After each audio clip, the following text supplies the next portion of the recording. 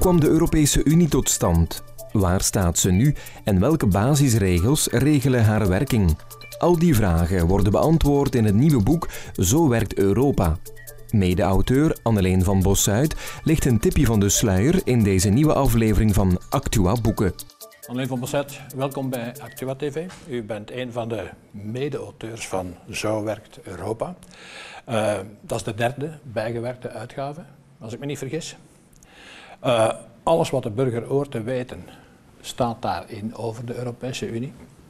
Nu, de vorige uitgave dateert van 2010. Mm -hmm. Er zijn toch wel een aantal grote veranderingen die hebben plaatsgegrepen intussen. Inderdaad, het is wel het, het minste wat je kan zeggen. Europa staat, staat duidelijk niet stil. Um, er zijn wijzigingen gebeurd, veel wijzigingen.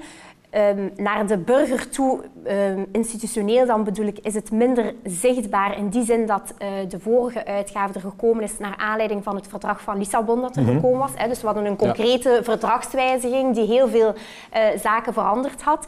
Dus dat is er nu niet. Hè. We hebben geen nieuwe verdragswijziging sinds mm -hmm. Lissabon, maar er zijn inderdaad heel veel andere zaken gewijzigd. Ik denk het allerbelangrijkste en wat de meeste mensen ook wel zullen weten, is de financieel-economische crisis uh, die we gehad hebben. Die is eigenlijk ja. losgebarsten vlak op het moment dat we eigenlijk de vorige uitgave uh, uitgekomen is, gepubliceerd is.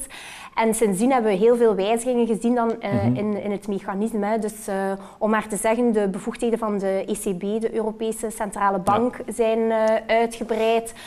er zijn ehm, maatregelen genomen, het zogenaamde six-pack en two-pack. Ja, daar komen we straks op terug. Ja, dus, dus bijvoorbeeld, hè, um, dus om maar één, dat is, dat is denk ik het meest in het oog springende, maar daarnaast zijn er nog op vele andere beleidsgebieden ook veel, mm. veel wijzigingen. Denk maar, maar aan hier heeft dus duidelijk de academische wereld en de politieke wereld hebben de handen in elkaar geslagen om ja. dit hier uh, tot uh, voltooiing te brengen. Maar voor wie is het boek eigenlijk bedoeld?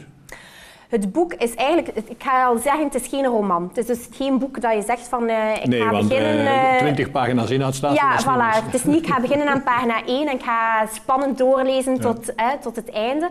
Het is eigenlijk bedoeld um, ten eerste voor de gewone burger. Als je mm -hmm. naar het nieuws kijkt en je hoort, ik zeg nu maar, Europees stabiliteitsmechanisme.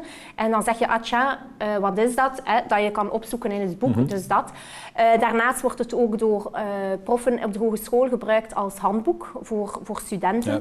Maar ik denk dat het ook voor... Is het al ingeburgerd nu in het Het is op uh, verschillende hogescholen uh, wordt het als handboek gebruikt. Ik weet mm -hmm. bijvoorbeeld op de Hogeschool Gent uh, wordt het voor de bachelorstudenten rechtspraktijk wordt het daar gebruikt als, als handboek voor een cursus mm -hmm. Europees recht.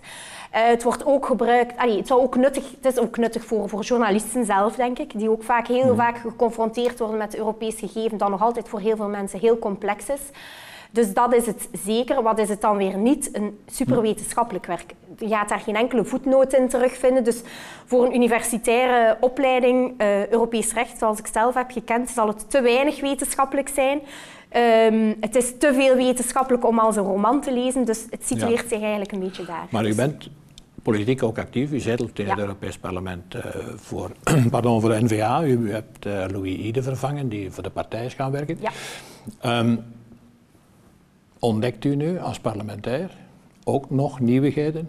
Van zegt, tja, dat wist ik eigenlijk niet over Europa? Ik, ik ontdek heel veel. En ik moet zeggen, um, de, de, de weg die ik bewandeld heb tot hiertoe, ik zou hem nooit, nooit op een andere manier willen. Dus ik heb eigenlijk eerst de mogelijkheid gehad om op een wetenschappelijke manier, hè, de basis van het Europees recht, gedurende zes jaar als assistent op de mm -hmm. rechtsfaculteit, uh, dat te doorgronden. Vervolgens heb ik al een eerste stap naar de politiek kunnen maken door, door mijn functie als adviseur ja. Europa op de studiedienst van de partij. Dus zo heb ik een beetje treilen en zeilen van de politiek kunnen leren kennen. Uh, ook mee de federale regeringsonderhandelingen voor onze partij, wat buitenland betreft, uh, kunnen meedoen. Ja. Uh, en dan nu zelf voor, voor de schermen staan en actief aan het beleid kunnen meedoen daar kan ik eigenlijk die twee zaken perfect combineren. Om, om maar een voorbeeld te geven, uh, zie ik nu hoe um, louterend het eigenlijk is om soms te zien waar je op de, in de academische wereld soms zegt van um, ja, ik ga een doctoraat schrijven over het verschil tussen implementing en delegated acts. Dat is iets heel technisch, maar fijn, hè? dus ja. dan denk je op de universiteit, ik ga daar... En dan, ik ken iemand die heeft dat gedaan, dus vier jaar daaraan gewerkt. En dan zie ik nu zelf op welke manier dat die beslissing genomen wordt. En ja, dat is erg om te zeggen, maar dat is puur oké. als we dat een beetje in delegated doen, doen we dat in implementing. En heeft dat niets te maken... Zit daar geen reden, ik, academische reden. Dat zijn natuurlijk politieke beslissingen. Voilà, inderdaad zijn het politieke beslissingen. Ja. Nu, dus, de, uh, de, Europese Unie is een... Uh, transnationale organisatie, een, een, een statenverband, 28 lidstaten. Maar die dagelijkse werking van de Europese Unie, die verschilt natuurlijk totaal van de werking van een lidstaat als België bijvoorbeeld. Is het dat onbegrip eigenlijk voor die werking dat de burger begint te irriteren? Ik denk dat er meerdere oorzaken ligt aan het feit, aan wat de burger mhm. irriteert. Inderdaad, het onbegrip, omdat we het eigenlijk zelf heel complex gemaakt hebben. Ik denk dat we dat moeten kunnen toegeven. Hè. Ehm, we zitten met een heel complex gegeven. Alleen al om wetgeving tot stand te brengen zit je met drie instellingen. De Raad, de Commissie en het Europees Parlement. Waar mensen dat gegeven op zich eigenlijk al, al niet kennen. Ze kunnen dat ook niet perfect relateren mhm. aan iets wat ze nationaal kennen. Want de Commissie is geen regering. Uh, het Europees Parlement, daar kennen we geen meerderheid aan oppositie Precies. waar je die het nationaal parlement kent. Dus, dus dat gegeven op zich is al heel complex.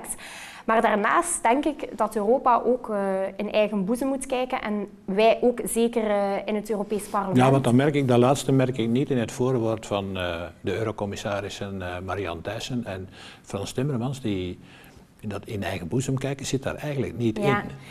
Ik denk dat dat voor een stukje ook een beetje is. We hebben er bewust voor gekozen om het boek geen politiek boek te maken. Dus het boek is een weerslag van het beleid zoals het vandaag de dag bestaat.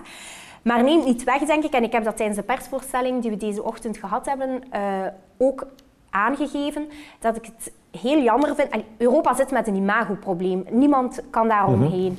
En ik denk dat de belangrijkste oorzaak daarvan ligt bij het feit Europa doet te veel op zaken waar ze eigenlijk niet zouden moeten doen. Hè. Dat is dan dat bureaucratische, dat, wat veel mhm. mensen kennen, alles tot in detail willen regelen. Maar anderzijds, we hebben de asielcrisis nu, de vluchtelingencrisis, de financiële economische crisis die we gehad hebben en eigenlijk nog altijd bestaat in Griekenland. ja. voilà. Waar dat de mensen wel naar Europa kijken en zeggen van doe iets, los, los het hier op. En daar zien ze Europa dan te weinig of te traag reageren. Dus enerzijds doet Europa voor veel, in veel mensen hun ogen te veel waar dat ze niet zouden moeten en te weinig waar ze wel zouden moeten. En dan is er nog een heel pak regelgeving, waar de mensen zich eigenlijk niet van bewust zijn dat die van Europa komen. Inderdaad. Want ik, ik denk dat ik bij u gelezen heb, ergens in een van uw teksten, dat u zegt dat 80% van onze regelgeving, wetgeving, eigenlijk vanuit Europa komt. Ja, dat is natuurlijk ja, een exact, het wordt tussen de 70 en de 80 procent wordt er gezegd. Ik denk een, een heel mooi voorbeeld hebben we daar in België gehad, enkele jaren geleden, ja, het is nu al een tijdje geleden, um, in verband met consumentenbescherming. Um, weet je, we hebben nu, als je iets een goed aankoopt, heb je twee jaar waarborg voor als mhm. daar iets uh, mis mee gaat. Nu, dat, dat, is eigenlijk die oorsprong van die wetgeving lag in een Europese richtlijn. En een richtlijn moet binnen een bepaalde termijn omgezet worden in nationaal recht. Wat was er nu gebeurd? België was eigenlijk al veroordeeld door het Hof van Justitie, omdat we eigenlijk die richtlijn te laat... Ja, voilà, inderdaad, daar zijn we geen goede leerling. Hè, maar dus België was veroordeeld wegens de laattijdige omzetting daarvan. Uiteindelijk had België dat dan toch omgezet in, uh, in nationaal recht. Freya van den Bossen was toen tijd mm minister voor Consumentenzaken. En zij is dan op tv komen vertellen hoe goed het toch was dat we nu wetgeving hadden en dat we nu voor de consument twee jaar die waarborg hadden. Terwijl dat eigenlijk het iets was om, ja, bij wijze van spreken, alles behalve trots om te zijn. Als je weet, België was er eigenlijk al voor veroordeeld en het was het nationale dat ging lopen met de pluimen van iets wat dat eigenlijk Europees is. De mensen zien het gewoon niet op die manier. Maar er is, is ook een terrein waar het nogal voor onrust zorgt, uh, namelijk, dat is onder juristen, merk ik, dat men zich uh, toch wel wat zorgen maakt dat we de manier waarop ja, het Europees Hof de zaken overneemt.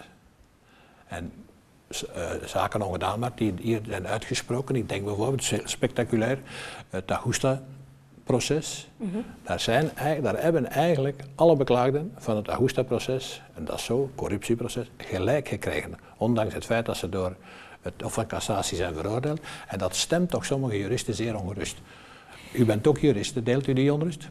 Wel, ik denk dat we voor eerst al een onderscheid moeten maken tussen het Europees Hof voor de Rechten van de Mens en het Hof van Justitie. Het Europees Hof van de Rechten van de Mens is van de Raad van Europa, een mensenrechtenorganisatie. Daar heb je geen supranationaal. Maar ook het Hof van Justitie. Ja, het dus dan, heb je ja, dan heb je inderdaad het Hof van Justitie.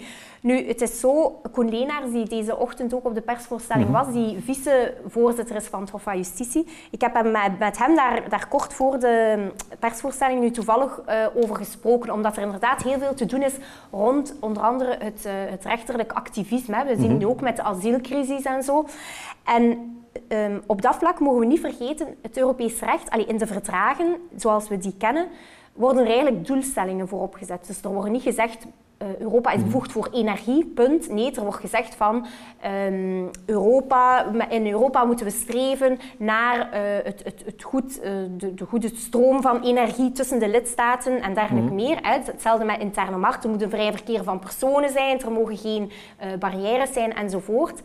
En dan is het eigenlijk aan de Europese wetgever om daar wetgeving over te maken. En is die wetgeving niet duidelijk genoeg, dus dat kan een fout zijn bij de wetgever, dan is het aan de, aan, aan, de rechters van het Hof om eigenlijk het, het Europees recht te interpreteren. Zoals, en dat, dat is altijd, dat is juridisch um, is dat zo vastgelegd in de verdragen, zoals het altijd zou moeten geïnterpreteerd zijn.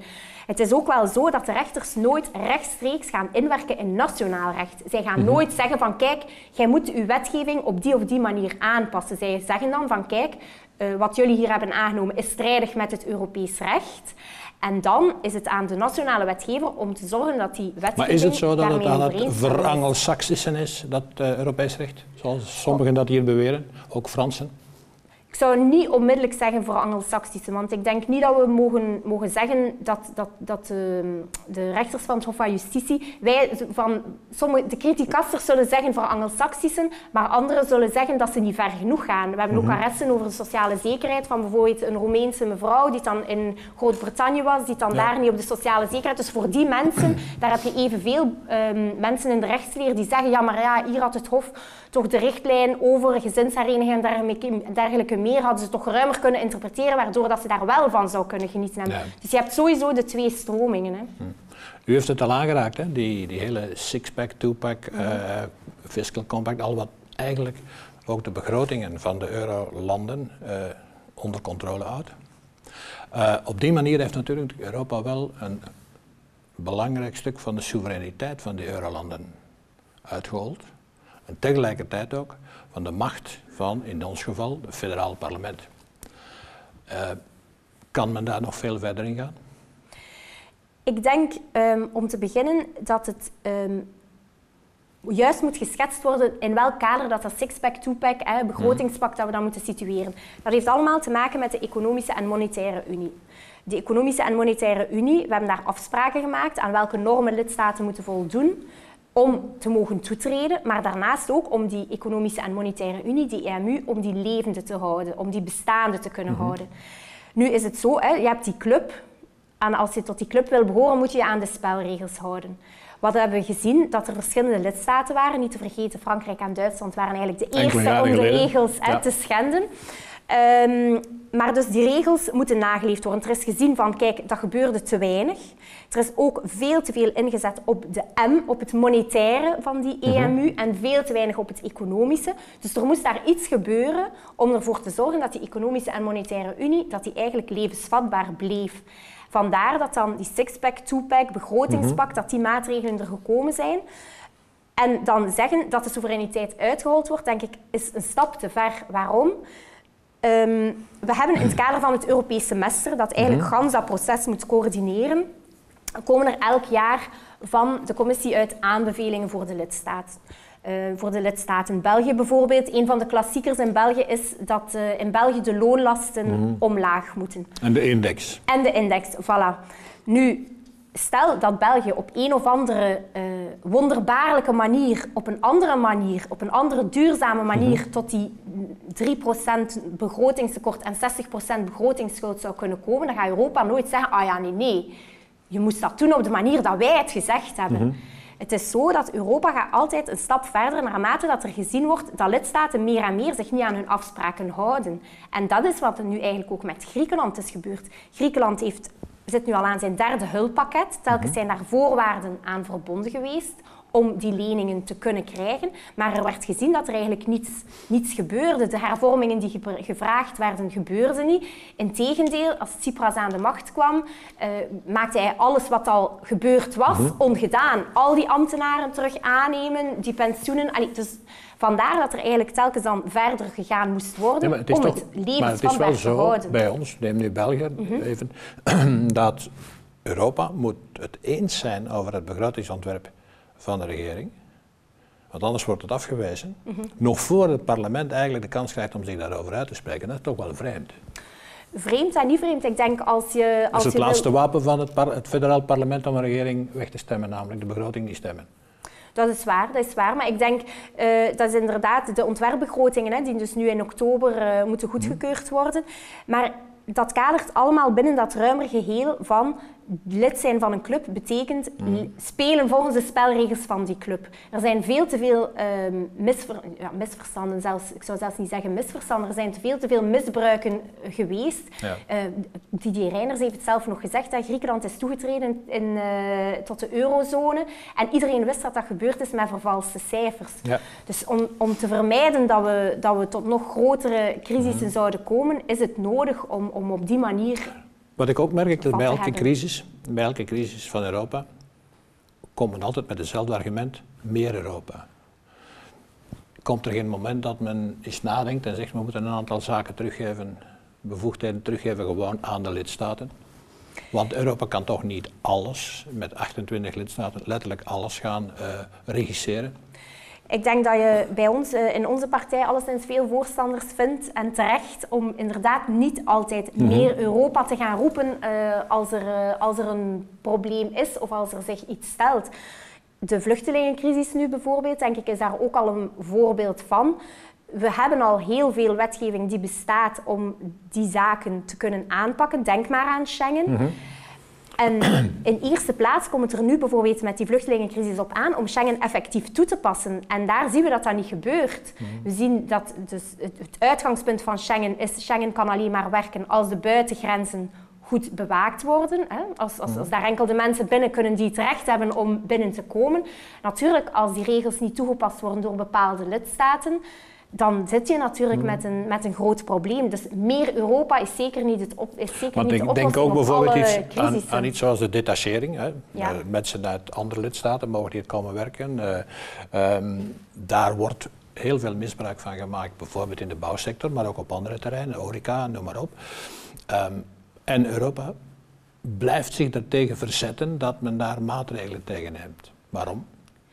Wel, ik denk al dat dit alweer een voorbeeld is eigenlijk van waar de Europese wetgeving niet juist wordt, die wetgeving die mhm. bestaat niet juist wordt toegepast. Want wat is eigenlijk de kern van de detachering? De kern van detachering is dat een bedrijf haar werknemers tijdelijk, mhm. tijdelijk te werk kan stellen in een ander land. En wat zien we nu? Dat dat tijdelijke element dat dat niet nageleefd wordt. Dat er eigenlijk misbruiken van worden gemaakt, waardoor die tijdelijkheid eigenlijk verdwijnt. Mhm. Vandaar dat dan eigenlijk in het Europees Parlement een handhavingsrichtlijn is aangenomen om die detacheringsrichtlijn die al bestaat, om die op een correcte manier, op een betere manier mhm toe te passen. Dus ook daar alweer gaat het er niet om van meer Europa, maar om het correct toepassen van de wetgeving ja, maar die er, bestaat, er zijn ook, voor, er zijn ook voorbeelden geweest hè, dat men dus sancties wil nemen, bijvoorbeeld België wil sancties nemen en Europa verzet zich daartegen. Ja, er zijn zeker, er zijn zeker uh, op vlak van de detacheringsrichtlijn ook, zijn er zeker uh, verbeteringen vatbaar die trouwens ook broodnodig zijn. Hè? Want ik denk de mm. bouwsector uh, in België is, en de transportsector zijn, zijn de twee grootst getroffen, mm grootst getroffen sectoren. Dus ik denk dat we zeker moeten nagaan waar de problemen liggen. Maar, en daar geef ik Marianne Thijssen, die nu eurocommissaris is, bevoegd voor onder andere die problematiek, gelijk. Zij is nu eigenlijk bezig met het in kaart brengen van de exacte cijfers van wie valt er nu eigenlijk onder de detachering, mhm. waar vallen de misbruiken en op, die, op basis van die feiten van die gegevens te kunnen kijken van waar kunnen we, voor, waar kunnen we verbetering aanbrengen. Want er bestaan ook zoveel, zoveel misverstanden ook voor een stuk over. Want heel veel mensen denken dan ook bijvoorbeeld die detachering. Dat er wordt altijd gekeken naar Polen, uh, Centraal- en Oost-Europese landen, laten we zeggen. Maar wij zien even goed dat er heel veel Nederlanders naar België komen om hier in de bouwsector te werken. En daar heeft Europa niets mee te zien. Dat is puur nationaal, omdat wij hier gewoon vraag met hoge loonlasten liggen. Vraag, ja, maar vraag is, zijn het echte Nederlanders of zijn het Nederlandse bureaus die mensen uitsturen? Die, eigenlijk, die eigenlijk, van Oost-Europa komen. Dat is inderdaad ook, hè, de postbusvernootschappen, hè, waar er zoveel om te doen is, inderdaad. Dus, dus, en vandaar dat het zo belangrijk is om goed in kaart te kunnen brengen van waar situeren de problemen zich om op die manier de, de zaak goed te kunnen aanpakken. Want dat is iets wat ik mij ook al in de korte tijd dat ik nu in het parlement zit, mm. kort, ja, enfin, toch nog altijd, um, is de steekvlampolitiek die we vaak in Europa zien. Er gebeurt iets en onmiddellijk is van, oei, ja, we moeten hier iets aan doen, dus we gaan wetgeving maken. We hebben dat gezien, uh, het paardenvleesschandaal in, in Groot-Brittannië, in het Verenigd Koninkrijk, met paardenvlees vermengd in de lasagne mm. enzovoort. En onmiddellijk moet daar in het parlement wetgeving over aangenomen worden, want ja, dat komt toch niet, en dit en dat. Terwijl we hebben super strenge standaarden al in Europa wat voedselveiligheid en zo betreft. Begint met die goed toe te passen. Begin op die manier en dan zal je al een heel eind verder komen. Maar dat betekent niet dat je daar meer wetgeving terug Europa lijkt eigenlijk een beetje op België, dus als ik het goed begrijp. Maar er zijn, er zijn twee interessante zaken die er nu aankomen. En waar ik mij afvraag hoe Europa daar gaat op reageren. Je hebt natuurlijk Catalonië, waar nu net verkiezingen achter de rug zijn, waar duidelijk de, de afscheidingsbewegingen uh, in, in gang zijn gezet. En aan de andere kant, in Nederland, heeft men voldoende uh, uh, handtekeningen verzameld om een referendum te houden over het akkoord met Oekraïne. In de twee gevallen, wat, hoe moet Europa hier reageren volgens u?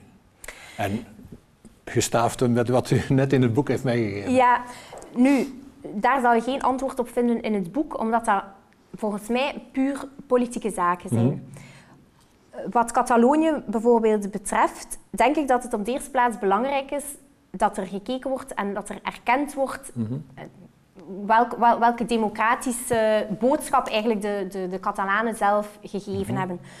Wat Europa, het, het probleem binnen Europa zelf is dat we hier eigenlijk te maken hebben met het probleem van interne uitbreiding, noemen wij dat. Dus het is eigenlijk een, een, lidstaat die zou uiteenvallen. En wat gebeurt er dan? Er bestaat daar niets over in de verdragen. Niets. Dus er staat niet bijvoorbeeld... Gaat dat een nieuwe lid, automatisch een nieuwe lidstaat worden? Of moeten zij opnieuw uh, aan de toetredingsvoorwaarden voldoen? Wat natuurlijk een probleem zou kunnen stellen, want daar is unanimiteit voor nodig. En de kans is heel groot dat een land als Spanje uh, daar, niet, daar mhm. niet voor zou stemmen. Dus dat is, dat is al het, het, eerste probleem waar we voor staan. Er bestaat niets in de verdragen. Tegelijkertijd is dat ook een opportuniteit. Want op die manier kan er gekeken worden hoe gaan we vanuit Europa reageren op, op, mhm. op, dergelijke problemen. En dan zien we dat daar bij Europa vaak gewoon de oogkleppen opgezet worden. En dan is het van, oh, we gaan ons daar echt absoluut niet mee bezighouden. Totdat we echt niet anders kunnen. En dan gaan we wel vlug iets doen. En dan zie je vaak dat in Europa, zolang de politieke wil er is om iets te bereiken, dan, dan gebeurt het. Kijk maar naar wat er gebeurd is met het uh, Europees Stabiliteitsmechanisme.